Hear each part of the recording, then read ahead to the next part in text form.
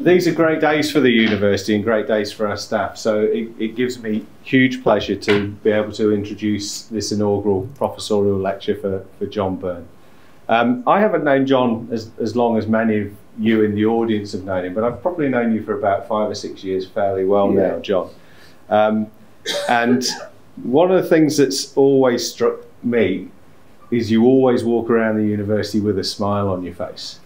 Um, and it's a hell of a lot easier to work with and talk to and engage um, and develop a, a, personal relationship when somebody's smiling at you. So John's been one of those people who I've had the pleasure of getting to know and understand their work over the last four or five years, and it's been a real uh, joy for me, John. So thank you very much for sharing you. all your, your hard work and, and efforts uh, in the in the area of useful art.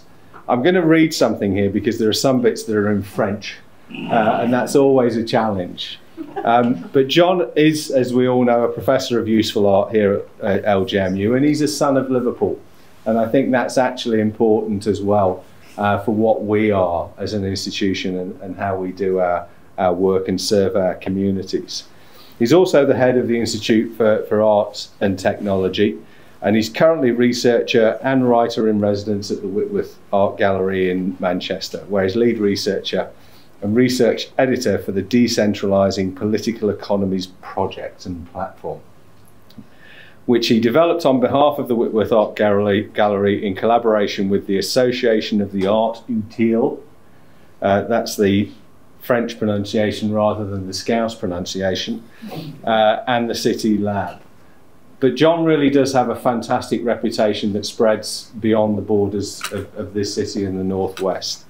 Um, and his work uh, between 2015 and 2018 as the coordinator of the International Constituencies Research Strand and the editor of the resulting publication uh, that came from that in terms of Constituent Museum, Constellations of Knowledge, Politics and Mediation has been really important for the field and demonstrates uh, the reach and the uh, worth of John's work internationally, and also obviously the esteem in which he's held uh, around the, the world of, of art. Um, John is a great citizen. He's a good guy. He's a wonderful colleague, and he lives the LJMU values um, and, and, wears the LJMU values really lightly on his shoulders. So it gives me great pleasure to introduce John, but also Alistair Hudson, who's here to uh, give him a bit of a hard time with some of the questions he's going to ask. So, looking forward to hearing it. Congratulations, John.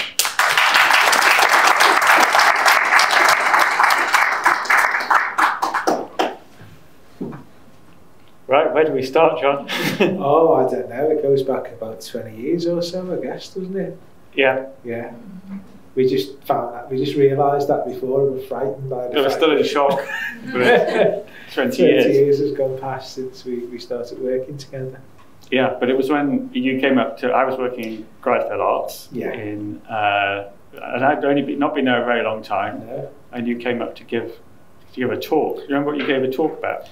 Yeah, I gave a talk about. Um, I gave a talk about like rethinking art from a, a, a different. Um, a, a different narrative and a, and a different and a different angle. I've always been really interested in kind of undermining in a kind of a positive way assume stereotypes of how we think. So uh, and I know that Adam Sutherland, who's your colleague up at Grizedale, we, we met as coincidentally in the British Art Show and, and, and, and Adam has those kind of kind of mischievous, let's think of this another way, set of values as well as, as you do too. So we got like a house on fire and just asked me to come up to give a talk and, and, and things grew from there, I guess. And how was mis- in those in those early formative days? How was mischievousness uh, going down in Liverpool, or because uh, I think that comes from the culture a little bit as well, doesn't it? Yeah, I, I mean, um, without kind of delving too much into the, the, the toy box of, of, of cliches, one of the reasons why I, I love Liverpool, besides it's the owner of the best football club in the world. Sorry, sorry to Spurs fans. uh, um, um, no, the, seriously, I, I've, I've always found living in, in, in Liverpool a very creative thing to be part of. I've, I've always had the pleasure of bumping into people from all kinds of different walks of life who have a kind of creative irreverence and, and kind of want to think of doing things or look at things differently, whether that was militant politics in the 80s to the, you know, the instigation of different kind of forms of community art that, that I was fortunate enough to be kind of a part of, to the music scene, to to, to the kind of burgeoning film and television industry in the early 2000s, which we were, we were, we were, we were, we were talking about. And I think, like, you know, um, I think Liverpool benefits from being a port. It's always been very outward looking. And quite often people, when I started working in the cosmopolitan work, world of contemporary art, often kind of were a bit surprised that I didn't move around the world. Because um, everybody did in those days after the collapse of the Berlin Wall. It became kind of part of the course to spend a few years here and spend a few years there. I think a lot of that was to do with the fact that Liverpool is a port. I was just brought up with people who'd been to sea all of their lives. So everybody'd always travelled all around the world, and this seemed like a, a place to get things done. And I was fortunate enough to get a job here, Liverpool Poly as it was, and um, uh, I'm genuinely um, grateful for, for, for working here because it, it, it has always been a place that's allowed me to get mischievous projects off the ground and done and had to trust that, that, that we could think things differently and do things differently. And I know colleagues in other institutions um, have often run into different kind of walls when that, that kind of left and field thinking's emerged. And it defines itself against London in lots of ways, historically Liverpool. Oh, I yeah, think that, yeah, that in terms of the art, that filters through to the attitude Yeah, in art as well, Uh, I think. I, I think so. I mean, like Liverpool's always seen itself as an independent state that, that looks out across the world and has little to do with London or the Empire. Uh, and, and and that kind of manifested as well. The serious side of that is, as well is, is I, I always found it easier to develop networks with people working in institutions like the Van Abbe Museum or, or the, the Reina Sofia or, or, or Salt in Istanbul. I found, I found, I found that, that those institutions kind of celebrated ideas and possibility and were far less, far less worried about kind of invisible pecking orders. So I've naturally always found it easier to, to, to to work across the north of the UK and out and, and, and outside across. I think, which is which, which, which is a, which is a sad but true. Yeah. And I remember actually the first project we worked on together Yeah, was a kind of classic case of what some people have called jackass curation, which was we Yeah. did a project of, of we tried to run a TV channel at We did. Creamfields we did. uh, We Music did. Festival.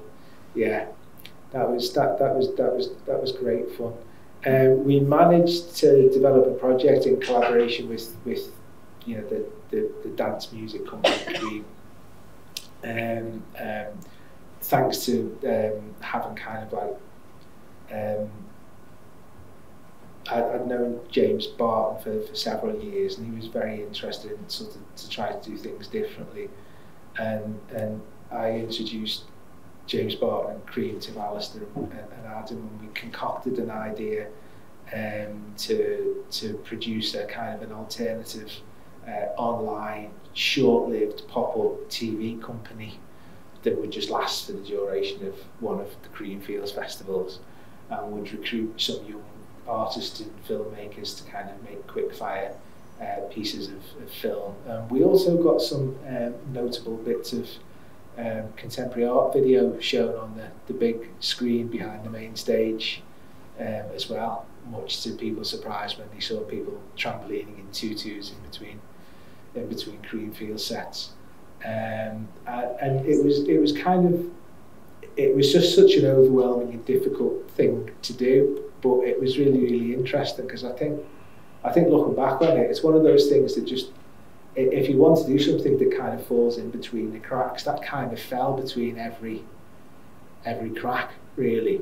in, in, in terms of like what I mean by that is I've always been interested like you know when like there are established ways of looking at the world and often we look at interdisciplinary and transdisciplinarity or however you want to describe it as relationships between those existing models um, there's cracks in between those models that, that kind of where things happen and you can't kind of see them unless you look at them, them in a different way and from a different point of view and, and, and that project wonderfully kind of fell in between every every one it kind of wasn't including everybody at Creamfields. yeah. What, what yeah. year was it?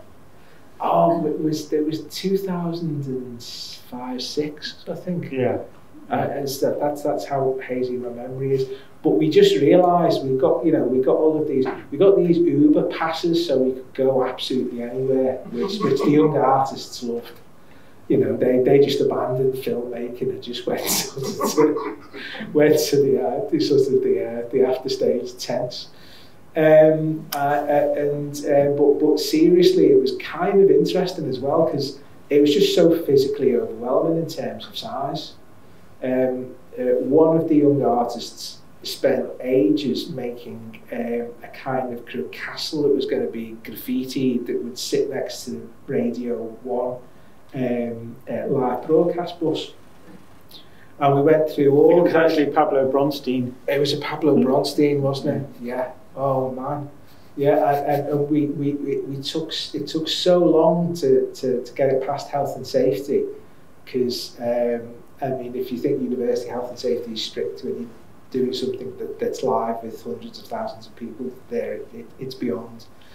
And uh, there's, a, there's kind of an anecdote about that as well, which maybe will that, that that's for that's for another another day. But um, um, when it actually happened, um, after all of this effort and all of this ambition, we just realised how small the structure was in comparison to Creamfields. There was this well, it actually actually became the garden shed yeah, at Grizedale afterwards. Yeah, yeah, and, and, and, and, and part of the chicken shed.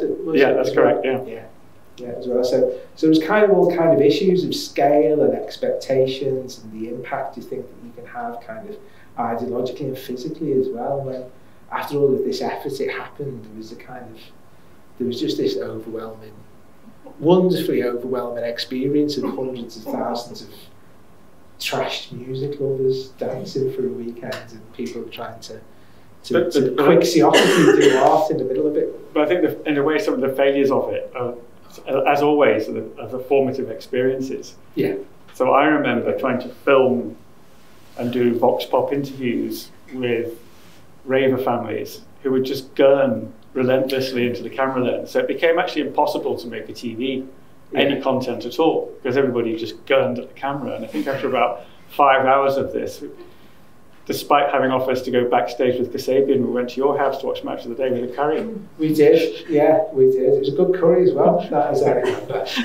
yeah, it was a, yeah, it was a kind of, but it was a really interesting, it was a really interesting entry into trying to operate in a hybrid manner with with people and institutions who were really willing to do so and, and learning lots of lessons about where where your own kind of ideas sat and where your expectations might be challenged and, and where the kind of assumptions that you make might not have the kind of traction that you you, you, you thought they would be. It was really interesting.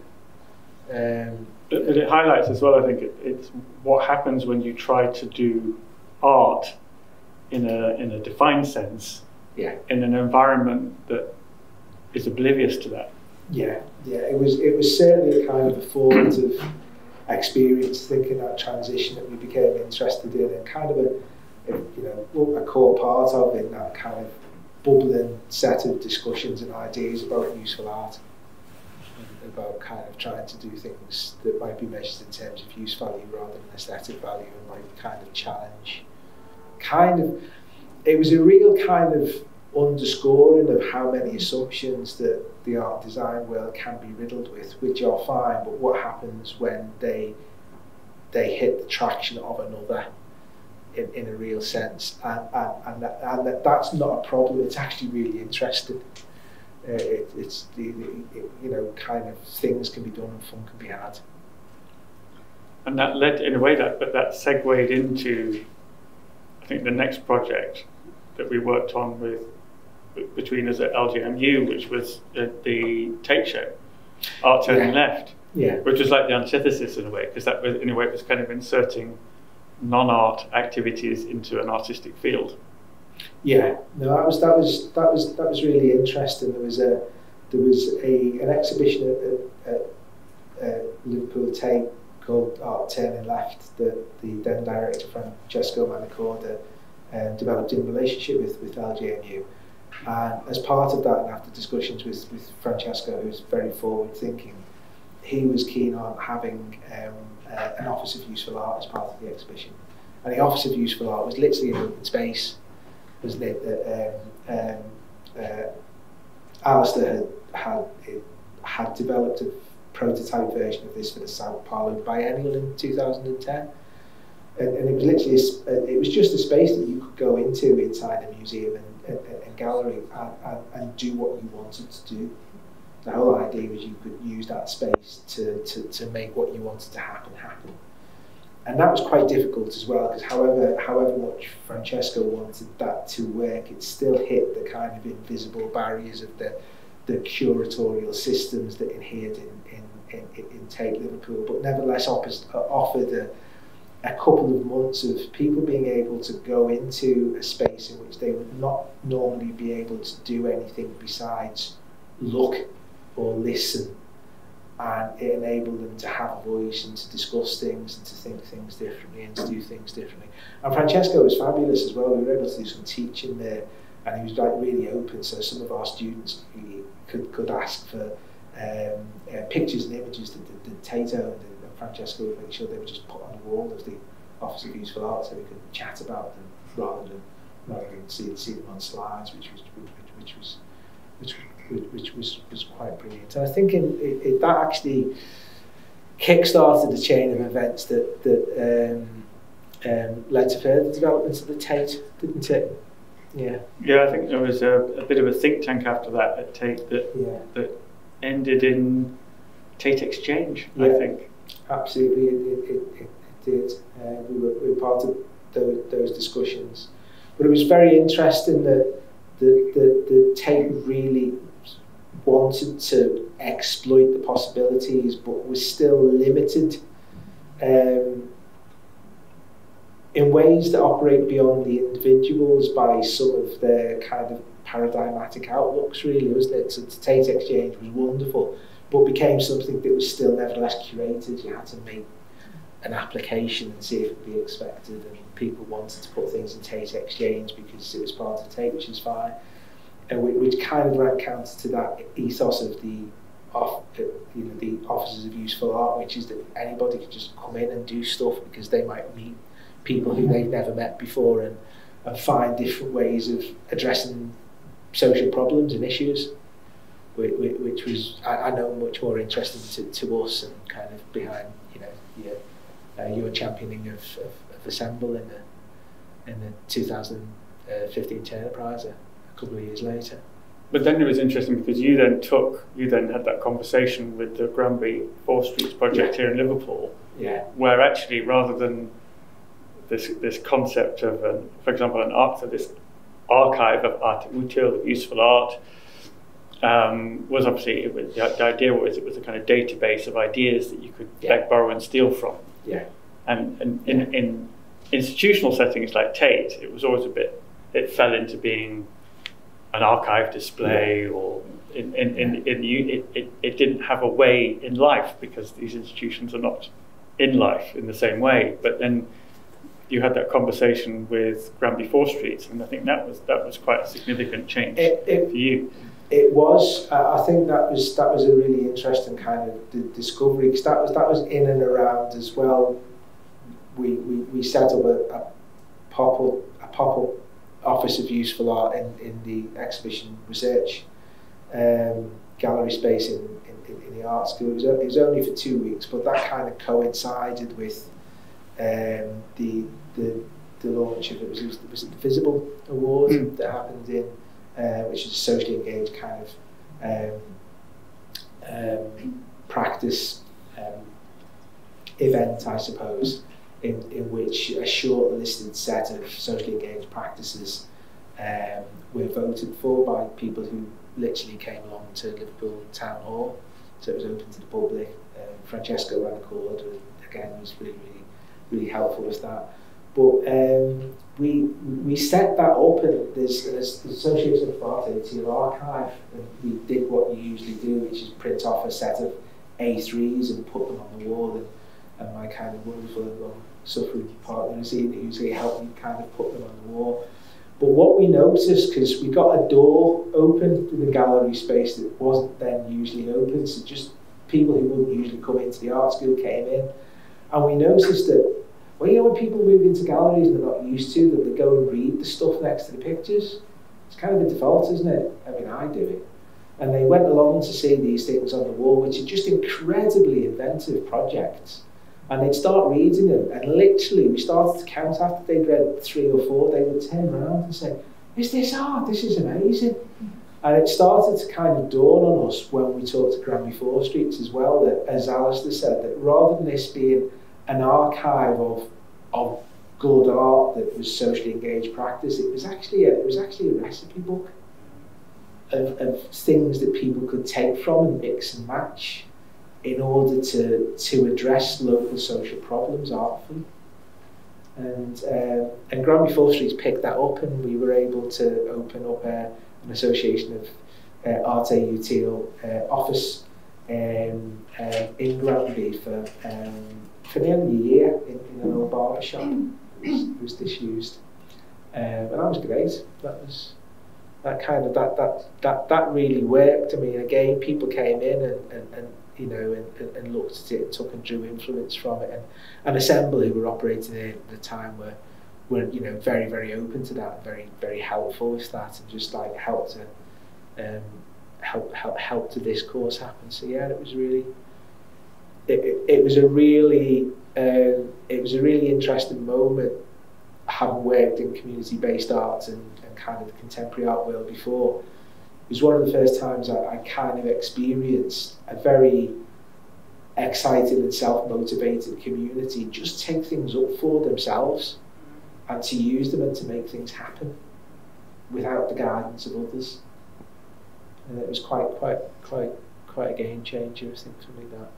And then a lot of this, uh, because it, interesting, because part of part of the work that you know that we did here, uh, yeah. Tate, but also Granby, obviously all this work that we were doing was part of this wider constellation of projects yeah. with the Internationale yeah, Museums yeah. Confederation in Europe, which is sort of these cluster of slightly left of field thinking but major institutions in Europe who were looking for new ways of learning about how they might change museums, how they might change their uh, institutional status, the, the, way they operate, and, and also like like like-minded um, institutions, I would say, who who uh, you know you, you described try to be a little bit more mischievous yeah. and effective yeah, in yeah. the way they work, and so like you know that all that all those little stories yeah. then start to have an effect on a on a wider um, trajectory, I think, for, for European museums in particular. So that's yeah. really been going on for about 10 years now. No, no, for sure. It's like uh, we, we've often thought kind of ways to describe how that, that might happen. It's like, um, um, you know, when you, for me, it's like when you kind of, I've only seen it in, in life once or twice, but you know, like those wonderful images of commemorations of swallows. It kind of seems like all of these communities and ideas kind of sort of somehow in different disparate ways join together to make a kind of concatenation of murmurs. No, no one idea or one project is big or massive or paradigmatic, but they're, they're all kind of rhizomatically linked by a kind of a, a will to kind of recoup some re recoup some of the possibilities of being creative and being human in, in, in the face of a, a culture which, you know, let, let, let's face it, is kind of instrumental, instrumentalizing us all till there's, there's nothing left and, and putting a price on everything. Mm. It, it, it allowed people to kind of say, well, you know, it's not as simple as, as, as art being art and promising some kind of future beyond this catastrophe um, or this catastrophe being different from art. It's lots of the operational systems of neoliberalism have have stolen and repurposed some of the most effective ideas from the art world. You know, motivation, thinking outside of the box. It's it's you know, they're the explanations for why innovation, kind of innovation, why, why why people work in Silicon Valley or why people should put up with a zero-hour contract for Uber. Um, it, it, they're the same rhetorics, and, and, and maybe a more complex and sufficient way of looking at it is to say, well, well, they, they aren't opposites. We're just in a much more asymmetrical culture. And what we want to do is to, to rescue and recoup and take some of those systems back you know, some, some, some, some ways of, of networking and working together that now seem paradigmatically to be part of a culture that alienates us from each other are actually also ways that we could work together to produce things very, very differently and very, very, very well. And I think useful art art's a way of being able to see that again, to, to kind of think that use value is actually really important because it's just about being social and, and, and, finding ways and means to work together in small ways that add up to much bigger movements to, to kind of reclaim what's been taken and, and, and, and lost. Um, um, I, I suppose. And a very good example of that, very quickly, uh, Alice has alluded to the, the, uh, the uses of art, the legacies of of 1848 and, and 1989 project that we did with L'Internationale. It was a five-year project. Literally in our first meeting, we were talking to some of the mediation departments in the Sofia, and, and what struck both Alistair and I, because you know, everybody saw them at the time as like the best mediation department of one of the, the paradigmatic museums and galleries in the world, is they were dissatisfied with what they did, which, which was kind of lovely. It's like, it's not enough but if I remember rightly, yeah. there were all these you know, institutions from around Europe, and they'd all planned out a yeah. three, four year EU million or so funded EU project with exhibitions and publications, and all this work. And then, but there was no planned activity for mediation or education yeah. in this as well. And it was really only at that meeting we ended up in a sort of, you know, the, the workshop group on mediation, which is basically all the mediators dumped in a room yeah. with nothing to do and saying, well, what can we do? But then that, that interestingly then became the main focus of the project. It, it, it did. And, and, and, led to the, uh, you know, the, the, publication, Constituent Museum. No, it was, it was, it was again, it, it, was, it was a wonderful moment. It was real privilege to be able to work with people who are quizzical and operating on, on that kind of, of level. And one of the things that these kind of um, you know these these colleagues were saying is that no matter how many communities we work with, no matter what we publish, no matter what we do in in, in, in the Reina Sofia, um, which is seen as a kind of a paradigmatic way forward, it's one-way broadcast. This isn't changing the operating systems of the Reina Sofia at all. We've still got this hierarchical idea that art's art, and it should kind of be then translated into various languages so different people can understand it and kind of get on board with what art is with a capital A. And what we decided was that a different way of playing that was to try to to think of how um, an institution, whether it's a museum or gallery or even something like a, a, a university, might perceive itself as being one constituent amongst many fluid constituencies that change and relate to each other in order to make things happen. And if that was the case, then museums and galleries and, and institutions would have to begin to think of ways in which their operating systems became much more much less hierarchical and much more flattened out and, and, and open to processes of change and becoming that were kind of often beyond the way they thought, which is quite quite a scary thing to do. You know, but there's some way that there's some ways in which you can work that, that hover between things always staying as they are or some ridiculous notion of simply handing the keys over to somebody else and saying the game's up. How, how do you work together to map new trajectories to change and, and, and to become something other than, than you can imagine as yourself? I think, and, and, and I think what's wonderful about that project is, is there were so many kind of um, exciting people who wanted to participate in in kind of to, do, doing that. And, and the other thing about that project is we envisaged the book that came out of it not as usual publication, but as a kind of as a kind of a guidebook. Really, it's something that Alistair had a, a big input into that that could be read the other way around and had lots of small scale evidence of projects that people could then pick up and use in, in institutions across the world to try and change something themselves, to kind of do things differently, and however it might suit their community or their, their agencies or their institution. So that became, a, again, another rich building on that kind of those ideas that, that kind of began to emerge with the Office of Useful Art Granby Four Street, I think. Yeah, and then, yeah. And I'm just wondering away what what those experiences have had on how you teach at the art school. Because on the one hand, you're, you're, you're, you are someone operating between systems as well, yourself. Yeah. Or somebody, uh, I'm just wondering, reflecting back, whether uh, how that's changed about the way you teach, the way you uh, operate within this institution, which is primarily a teaching institution or research institution. When, when you're yeah. out there in the world doing stuff. Yeah.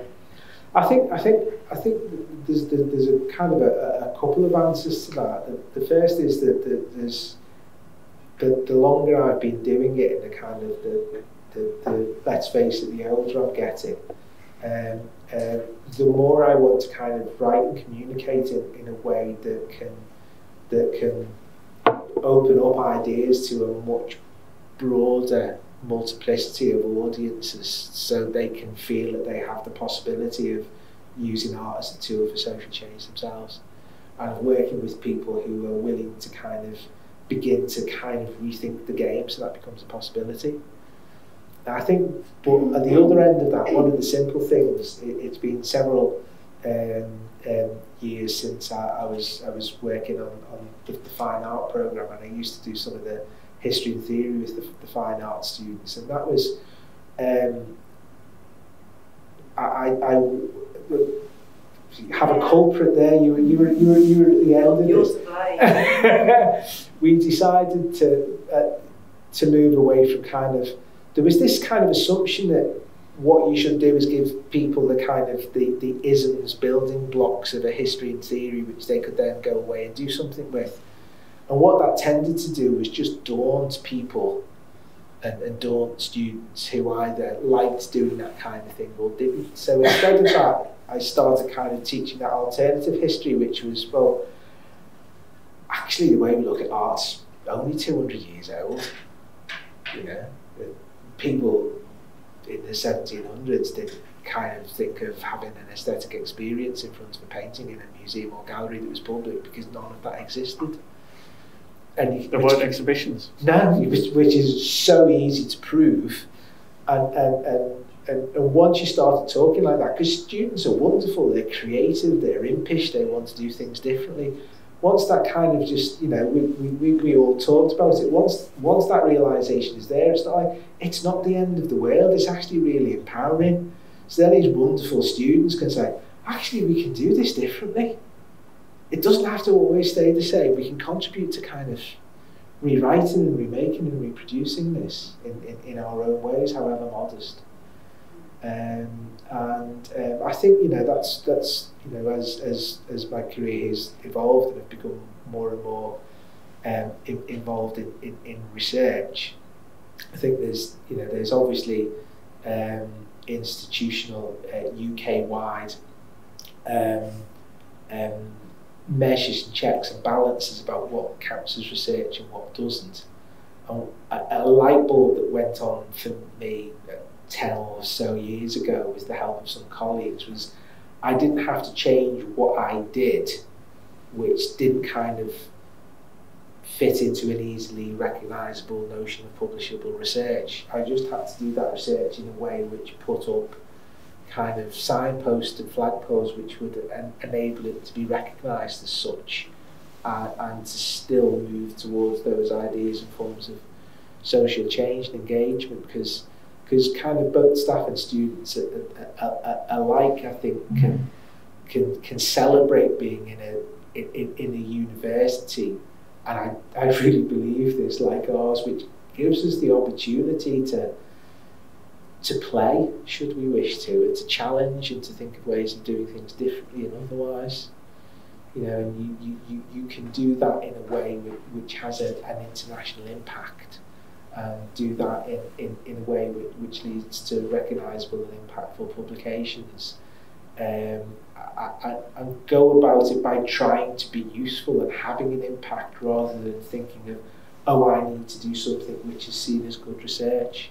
If you put the horse back in front of the cart, you can, you, the, the, the ecology shifts, I think, and, and you know, with the, what's happening with the the School of Art and Design and Liverpool Screen School and what we've been trying to do over the last couple of years with the Institute of Art Technology, it's slowly starting to to, to, to, to work that way and starting to, we were talking about this the other day, Mark Wright, who's in the audience, is, is kind of part of that steering committee with plans as, as, as in Rachel McLean, who's, who's here, we're, we're, we're starting to generate plans which will uh, allow for more um, more voices to come through, more diversity to become part of the research, for the research to kind of mm-hmm. open up different pathways and to happen in different ways.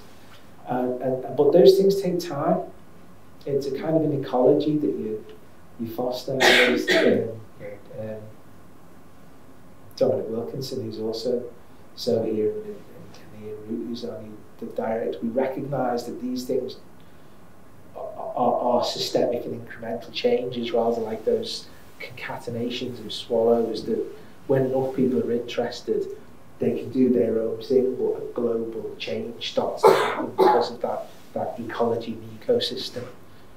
Um, I think, which means that people can still do their own stuff, but that it kind of begins to build into a way of looking and a way of seeing and a way of doing that has a has an international impact. So pretending nobody from the higher echelons of the university is watching, if you had your mischievous evil way with the art school, where would it go? if I had my evil mischievous way with the art school, I think it would go in the way it's it's already started to move, and I think in the way in which art and design schools will probably evolve anyway. I, I, I think I think that the art and design schools of the future um, will be much more about enabling and facilitating their students to um, have the skills to operate flexibly in and across disciplines and find those cracks and be creative in ways that have real world impacts, whether that's socially or, or, or economic, whether that's working with industry or working with communities. And that's a political imperative because if we don't keep nurturing that possibility to creatively use what's there, whether that's the technologies around us, whether that's the ways of communicating with each other, whether that's thinking creative, creatively, we will just continually become financialized memes within a, a soulless global neoliberalism. So I think in, in, in a way what art schools can do and become is, is hugely impactful and meaningful. I really do think that, that they, they, they still offer the bridge between um, being able to help shift and change the real world economies that we are all part of, whether we like it or not, and the kind of ideas that can can develop from from those engagements that are about being human, being ethical, working and living in a way that's sufficient for our ours and each other's um, uh, health and well-being. Yeah, I, have been talking with my new hat on to lots of kind of big tech companies and yes. innovation companies and technologists and people like this, and it's interesting now, and I think it's changed from even 10 years ago, but now they want to work with artists. Yeah. Or they want to work with artistic thinking. I think part of it is also comes through that story you pertain to, which is like that that story from the you know the, the hippie outsiders of the 1960s finding their way through you know, from being the outsiders to being the insiders and the nerds in control, and now, you know, we now have this, this kind of these huge beer moths. But what's interesting for me is that is they're now demanding this. They've realised that they've been the nerds in the room for too long, Yeah. And they don't want necessarily just to have what they do extracted by political power. Hmm. They actually do have good intention a lot Yeah. of the time, but they don't know how they don't know which way to go. But they see somehow working with art ideas or art-like ideas and artists and being playful in the same way that you refer to being playful Yeah. as way as, as, as, as, as, a, as another route they could take take technology down Yeah. In order for it to do those things you talked about. So I think it's an interesting moment now where it used to, in a way, we talked a lot about the ground up. We talked about, you know, from left field. We talked about this this rise from somewhere, but it always hits Yeah. hits the ceiling somewhere. Yeah. But it seems to me there's an opportunity now for, for, for these two worlds of the different cosmoses to join to join together. Yeah. So it may, maybe No, I, I, so does the yeah. role of the art school fit there somewhere? I, I, I believe it. I believe it does. I, I I believe that that's an increasingly um, open space within which art and design schools, whether it's here at LJMU, and that's what literally we're, we're trying to do, or, or, or, or across Europe and the global south can, can, can do. I think that that that requirement almost to fill a void which is opening between kind of the possibilities that different forms of communication technology provide and uh, social and ethical uses can can can be filled with with experimental inventive creative thinking whi- whi- which is which is which is based around which is based around the social rather than the endless extraction of, of, of monetary value and, and, and the things don't have to be mutually exclusive. I think we could we could play a big role in escaping the gravity of those. It's again, it's like art, non-art, escaping the gravity of those now quite useless binary discussions about, well, you know, if it's utilitarian, it's not art, and if it's art, it's protecting us from these nasty things. And if it's, a, it, it, it, that just doesn't hold water anymore. You know the, the, the, the whole territory's moved on and I think it's it's it, it, it, it universities and, art schools can play a big role in equipping their students and their staff to play major roles in reclaiming those those those debates and those possibilities and those ways of working that can can return a, a meaningfulness and, and, and a humanity to how we use our technologies and, and, produce them to be Marxist, reproduce ourselves in the future, which, which is linked to ecology and, and, and, and, how we protect our future and live otherwise. And that connects a little bit to the other project we worked on more recently, which was the Economics the Blockbuster project. Yes, yes. Talking of changing the world. Changing the world, yeah. Um, um, I mean, Economics the Blockbuster was a, an exhibition which was instigated by Alistair Hudson while he was the uh, the director of the Whitworth uh, um, um, Art Gallery and was, was developed by, by Poppy Bowers, who's uh, I'm really happy he's uh, come to, join us, and Alessandra Saviotti, our, our, our, new doctor, um, um, um, um, and worked on too. And that was a that was a really interesting um, testing ground, really. I think, wasn't it, to, to try to to try to make an exhibition in a museum and gallery that has a, a does a kind of thing and has a reputation in a way that that kind of not just bridged the gap but did the best of both worlds. It presented an interesting exhibition but also laid out a series of possibilities so as we relentlessly kept saying an audience could come through the door and leave the exhibition rethinking what the economy is and having much more of an idea that economics isn't simply money and it's quite a complex thing that you can join in. It's not just something that's always being done unto you, although these days it, it, it, it is more often than not. Um, but that also kind of allowed people to kind of work on projects over a couple of years that would lead to, to possible further projects that had a real world longevity and, and impact which has happened. So it's really a really interesting and kind of brave way of, of, of rethinking how we can use the best of what we have to begin to do something differently. Um, I think and to kind of move that move, move that dial towards towards the constituents, towards use value. Talking of getting the best use of what we have, I think I don't know how long we have in total, but uh, I thought maybe it's time uh, to open up some questions yeah, to you. Ready? Sorry, the screen shape was making me feel a bit seasick then. I was like following it. Um, it's blooming cold in this. It is. That's the first thing we need in our constituent um, museum and university is some heat. Um, no, that's all super interesting. As someone who's kind of worked on Eastern mm. Europe and the Day Day Art and like art that had like you know state sanctioned sort of social use and many of those artists kind of suffered when the wall went down. These were all questions I've thought, you know, thought with for a long time. Yeah. You know, as long as the Soviet Revolution and the constructivists really argued for that kind of radical democratization of art. So it's all like I think really important these kind of conversations about. And as someone who's also experienced the stifling bureaucracy of the Tate as a kind of institution that you've got to try and still change.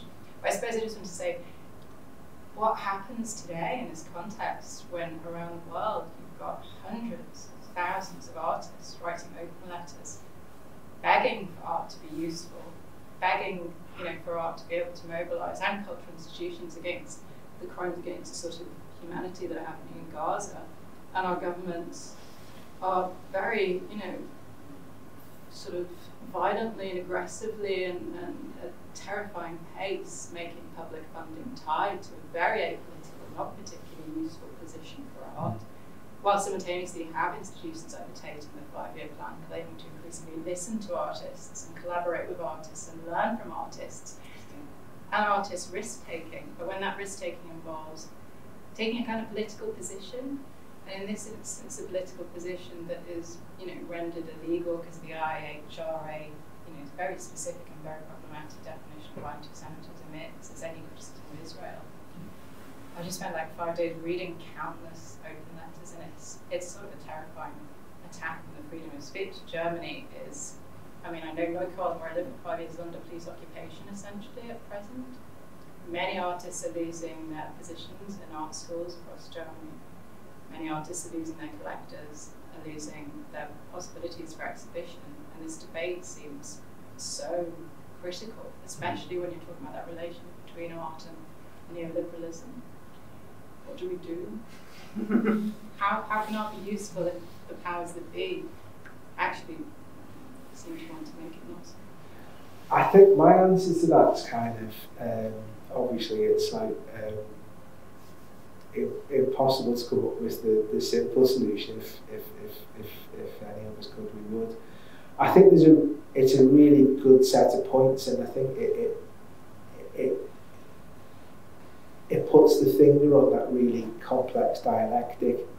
I think um, there are countless artists there are countless communities who want to work individually or creatively together to affect social, political, and economic change. And, and, and, and, and I think one of the things that we have to do individually and through educational systems and, and, and, and how, we, how we make and do together is to think more about what art now is or could become rather than what art was or used to be. Because I think one of the ways that, that governments are able to exercise some kind of control over um, over that landscape that you're, you're very eloquently mapping out is to is to put forms of closure and limitation around how art is, how it functions, what it's supposed to be, what its role is, and and, and I think the, the job is as much to it's impossible to break that overnight, but like those concatenations of, of, of, of and, of, of, swallows is, is to work together in ways to kind of continually erode those expectations so so art and living creatively together can become something different that begins to evade that capture. That governmental capture that we're talking about at the moment is just too easy. That, that must and, and it, it's it's it's an impossible thing to, to answer straight. But I've thought about it myself. It's uh, it, it the fact that that's so possible kind of points to some of the flaws and fissures in the in the kind of art world that we have at the moment. How it's being hijacked already effectively by neoliberalism and might begin, I don't know what they are, to point to ways that we might need to rethink our game. I think that's what's so disturbing that the art forum letter various other openness in Berlin, what, what, what was so sad about it in some of the cases the artists may be saying that these art institutions and museums and galleries around the world that have spent the last five years with us in the wake of Black Lives Matter or mm. pointing to atrocities in Ukraine and taking a stance on them, decolonising, diversifying, being invested in social justice and climate justice. And yet, suddenly, you know, there is a silence and there is a censorship and there are laws mobilising to further sort of um, crack down on, on that and, and to not even, not even take, I'm not even really talking about art that's, you know, explicitly political. It's literally artists who would say, mm-hmm. along with the UN, maybe we shouldn't all be witnessing genocide. And that in itself has been enough for artists to be dropped from exhibitions and shows and document. Um, so just, yeah. And also, the other thing I was going to say is that some of the stuff we're talking about, I mean, the last Documenta, the, you know, sort of 22 edition that was so, is a, is a kind of brilliant mm, sort of manifestation of that sort of a model, I think, of what mm. happens if you do say, well, let's think, we think this a little bit. I mean, it was so heavily criticised because of a few unfortunate kind of scandals, but it really did shake up that kind of like idea of, mm. you know, what can art do? And one of the most wonderful things about it, I took the team over there when it was first over, was it, it was like, it was engaging local communities. And it was all about making as opposed to, and that's the sort of utopian thinker in me that clings to that kind of model. But I do think we are in unprecedented times in terms of where art is and what it can do. So, but then it maybe needs unprecedented mm-hmm. strategies and tactics and ways of operating. And I think that's, you know, a lot of what John's articulated tonight as well is that, that things are changing so fast you know, the, the, when we talk about this accept, you know, I mean, I wouldn't say acceptance, but the the mainstreaming of these ideas that you know, 20 years ago, people would literally berate you and say, "This is really not art. You cannot do this." Coming into yeah. coming into the picture, manifesting projects that you see, you know, like a Documenta. Mm. It's happened. It's happened over a long, a relatively long period of time, but the, the the speed of change now requires even even more yeah, fleet of foot thinking, I think, yeah. and thinking outside of the expectations of what an artist is or how they say what they say or how they do what they do. Mm.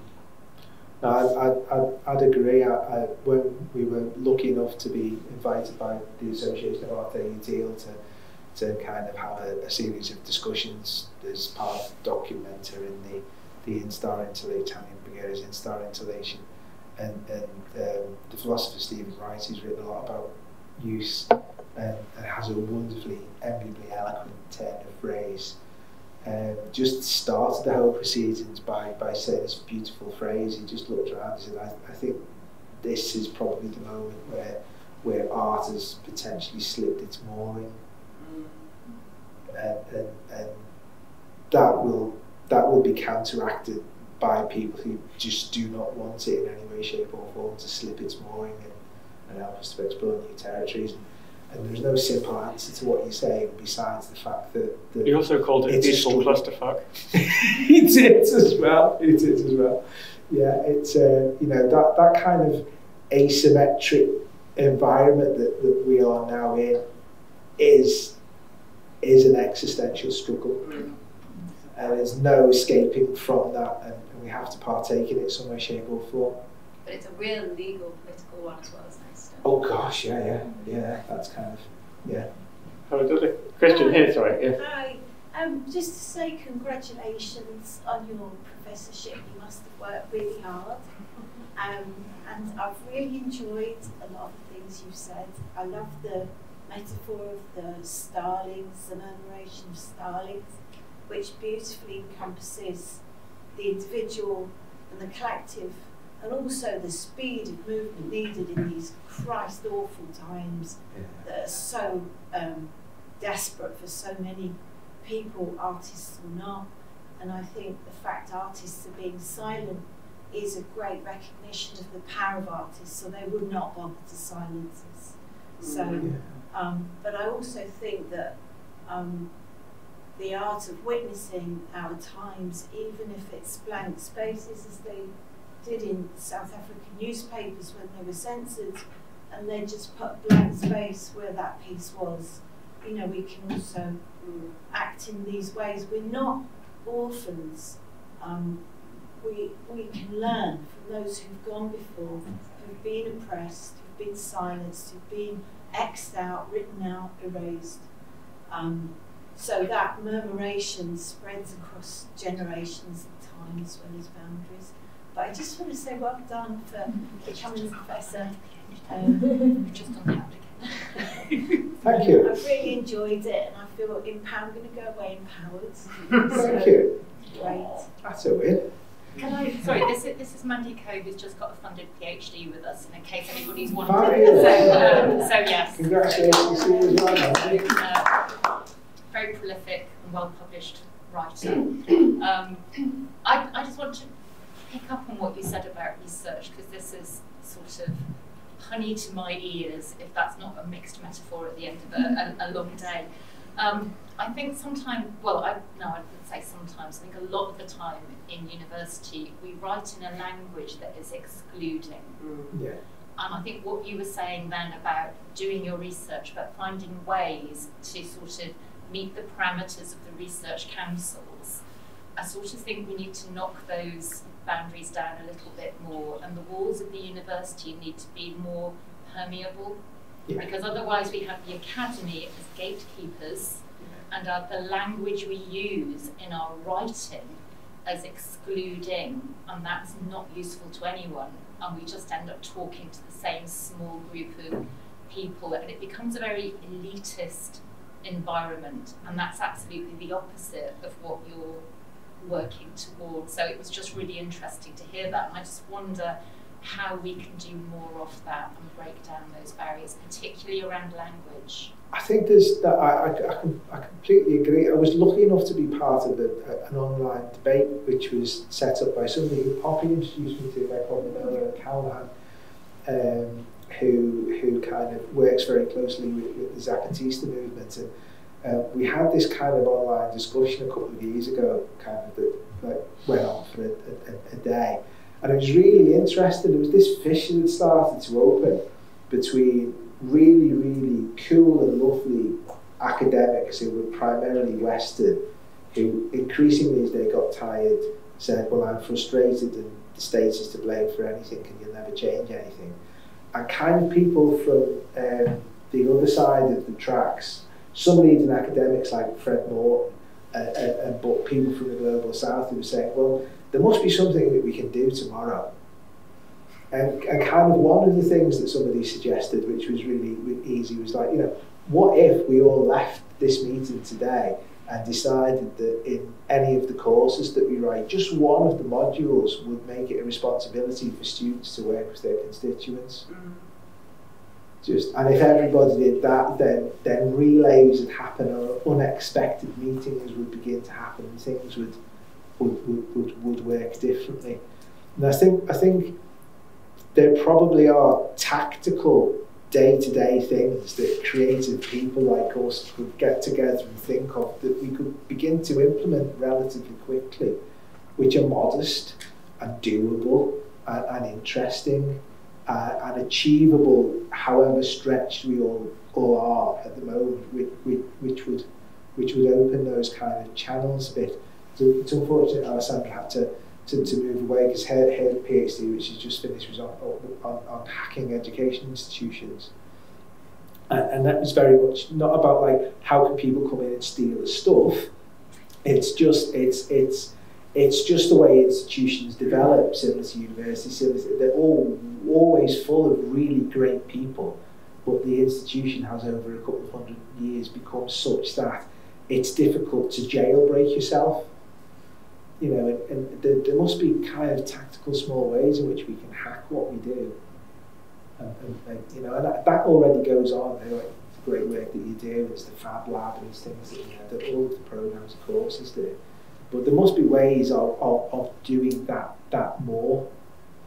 You know, as, as, as, as ways of making it possible for people to get five, four O levels in, in, in, in, in Bootle in the 1980s and still end up a professor somehow. you know, so.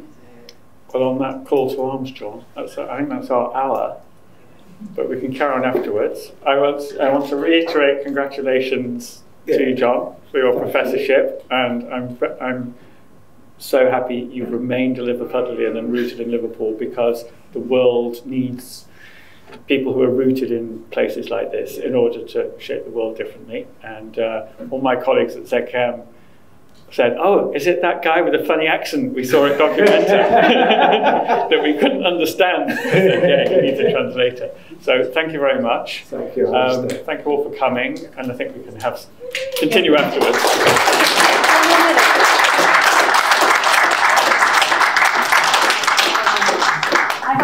Honour of closing this part of the evening, and then, as um, Alistair said, we will go through and have some more celebration, a more celebratory part with uh, food and drink. So please do stay for that. So first of all, I want to thank everyone for coming here. This is testament to what Keith said at the start. You're sort of smiling, willing to engage with people, willing to help out disposition, John. That you've got so many people here, and a cold January night, such an engaged audience.